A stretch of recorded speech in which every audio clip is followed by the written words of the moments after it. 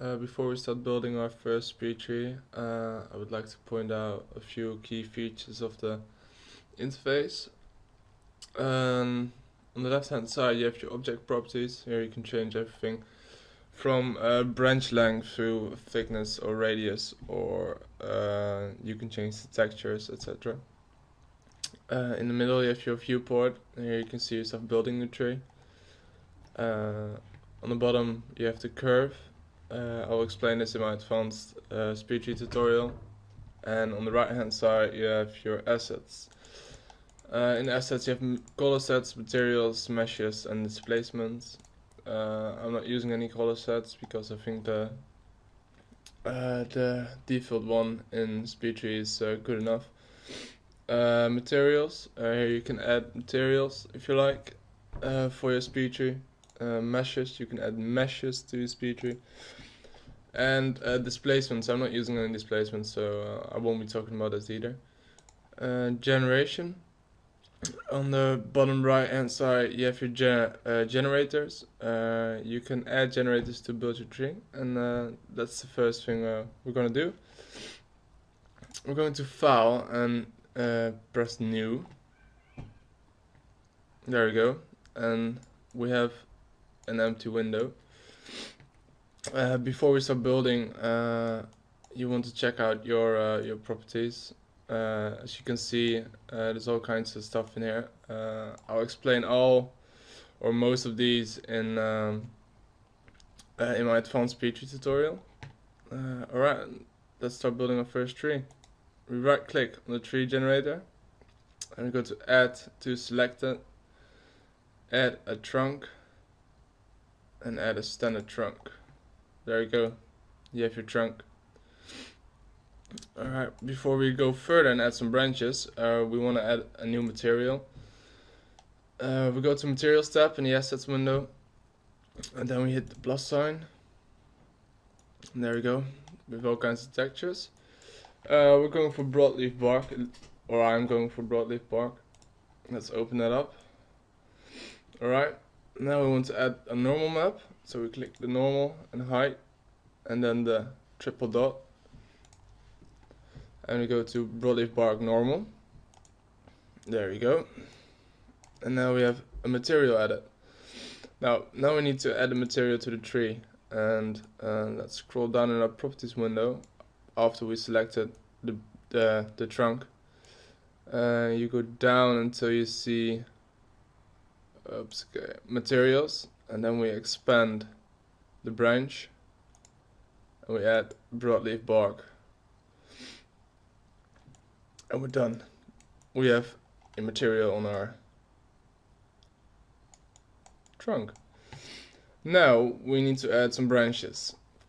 Alright right click the trunk add to selected branches and we go with the standard level 1 branches there you go. We've added some branches. Now we need some more. Because this ain't looking good if you put some leaves on it. So we add level 2 branches to it. There you go. Well, this, this is looking like a tree right now. Now we need to add some leaves. We go to add selected on our level 2 branches. We add leaves. I just go for standard as well. You can do whatever you like, of course. Uh, oh, sorry. Yes, standard. Now. Now we have leaves, but there's no material on it. They're just card cardboard. So it's flat, flat texture. So we need to add a material for our leaves. We go to materials again. We hit the plus sign and we select. I'll just go and select sample leaves one. And we're going to add a normal map because it looks way better. And we're going to add a specular map there we go. Now we need to add it to the leaves. So you select your leaves. Go to your properties window.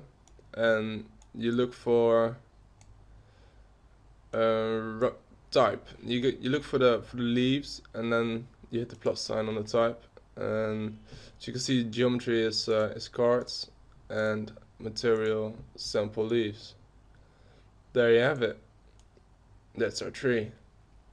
It's not looking very pretty, right? Um, we need more leaves, so with our leaves still selected, I'm going to look in my properties window and we can adjust some settings. Um, we have a number of ways to do this. You can either either increase the size of the leaves. Let's change that to 10. Now you get huge leaves. It's, it's not. Well, I don't think it's very pretty, so I'll just I'll just leave it to five. No, let's, let's put it to six.